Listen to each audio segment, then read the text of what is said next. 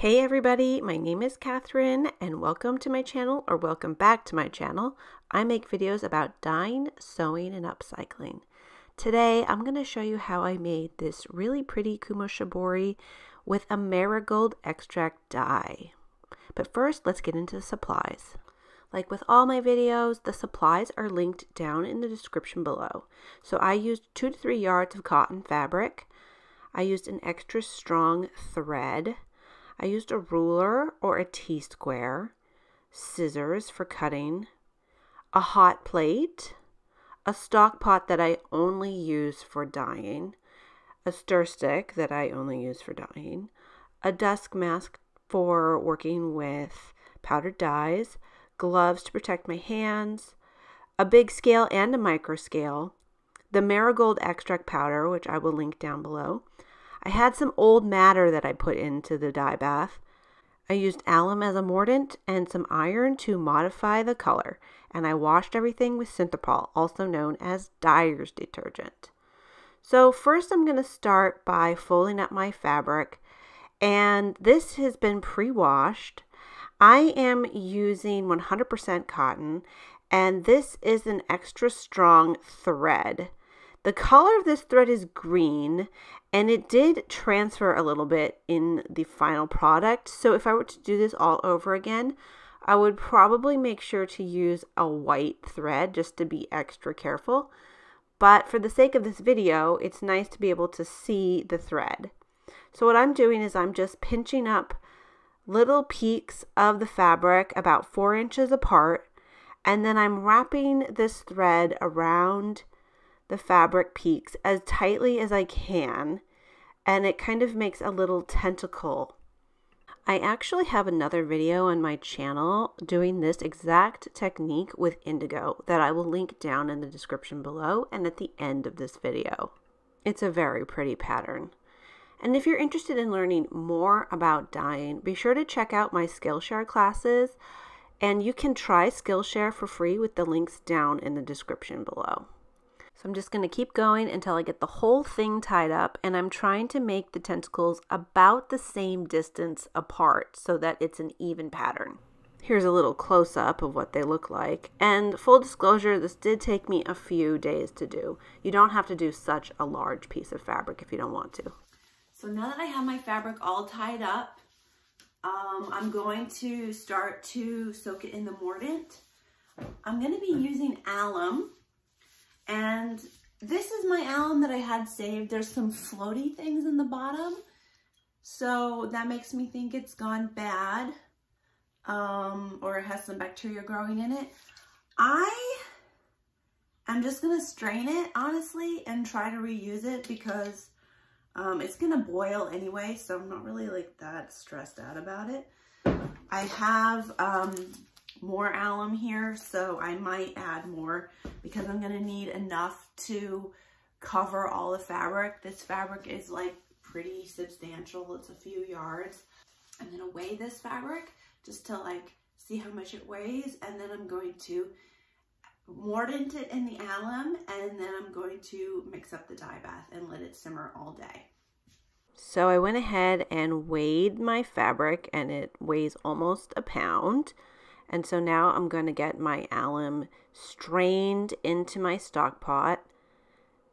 This stock pot is the one that I use only for dyeing. You can see it has some uh, red matter in the bottom of it. So I added the alum I already had that I saved and now I'm just going to fill it up with water and add about half a cup more of alum. I'm just going to kind of stir it up with my scrub brush there. Unofficial stirrer.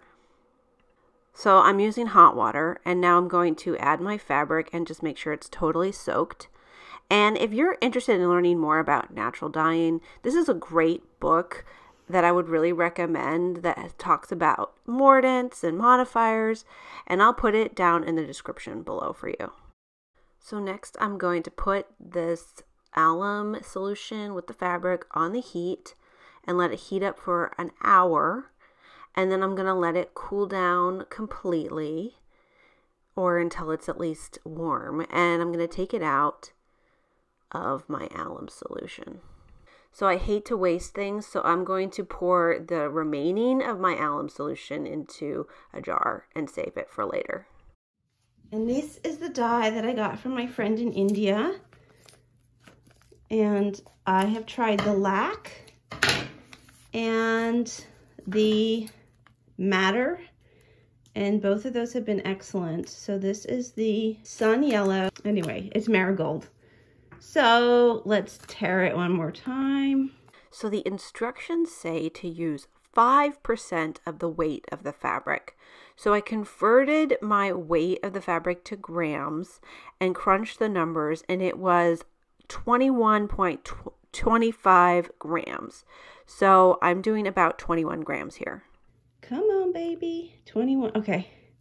Whoop. Okay. A little bit more. That's fine.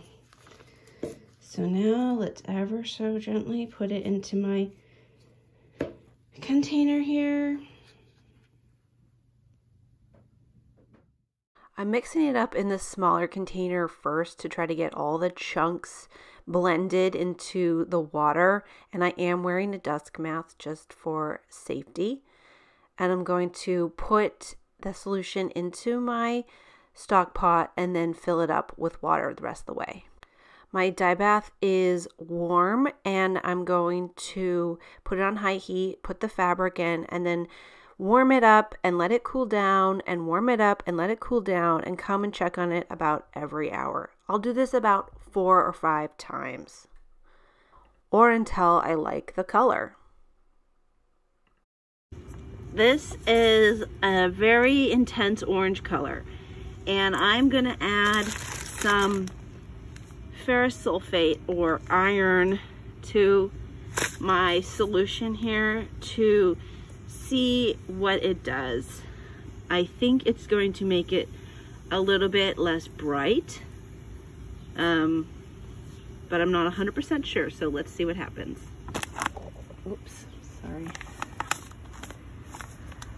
Okay, might want to actually take this out.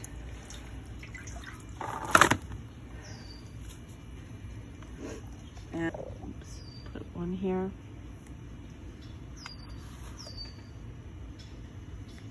Let's just stir it, see if we can get it kind of mixed up.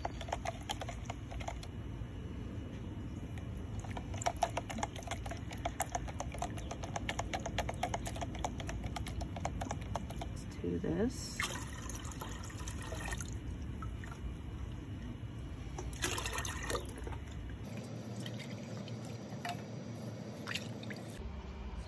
Okay guys, so I'm back outside and my pot is starting to steam and I'm gonna put my piece of fabric back in and just see what it looks like. I'm really excited to do this little experiment. So let's get into it. Don't want to waste any of that dye. Precious dye. Okay, in she goes. It's been heated up on and off for about four or five times now. And I'm gonna do something a little bit crazy and I'm just gonna add some of this old madder that I have and see how this turns out. I think it might kind of give it a little bit more of a brownish, rustish color. I let this heat up and cool down a few more times and you can see it's got a much more sort of brown neutral type color. So this is warm but not hot and what I'm gonna do is just take it out and kind of let it chill for a little bit before washing it. Here's a little close-up of how it turned out and I'm just going to let it sit. Now I'm rinsing it out with cold water in my sink and I'm just trying to get all the excess dye out. Next I'm going to take it apart very carefully with my scissors and I'm just going very slowly. This took a long time. Here's what it looked like before I put it into the washer and I'm going to wash it on hot with Synthrapol, aka Dyer's detergent in my washing machine and then dry it on hot. Okay, so here it is. It's been washed and dried and it's quite a large piece of fabric. It's still kind of a little bit warped from all the tying. Let me know in the comments what you would make out of this fabric. I'm still trying to decide. It's so subtle, um, but it's a pretty color. It's a pretty beige color. And then I got some markings from the green. The thread came through, through all the boiling, which is kind of interesting. It's pretty. I have to just decide what I want to do with it now. Thank you guys so much for watching. I really appreciate you. Be sure to give this video a big thumbs up and go and follow me on my social medias at Onyx Art Studio. You can also check out my website for my online dyeing workshops. If you like this video, be sure to check out these other videos I have on my channel. I have tons of videos about dyeing, sewing, and upcycling. Be sure to subscribe and show me some love in the comments. All right, see you guys next time. Bye.